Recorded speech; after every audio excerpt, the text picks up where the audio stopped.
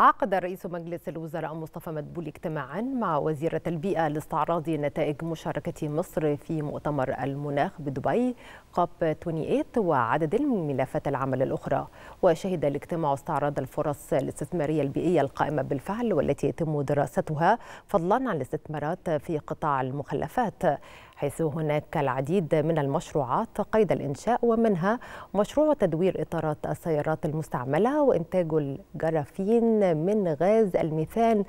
الناتج من مدافن المخلفات البلدية الصلبة وكذلك إنتاج الأخشاب من المخلفات الزراعية وأيضا مشروعات المعالجة الميكانيكية البيولوجية للمخلفات الصلبة البلدية وإنتاج الطاقة الكهربائية والوقود البديل لمصانع الأسمنت من الحماة الناتجة من محطات معالجة مياه الصرف الصحية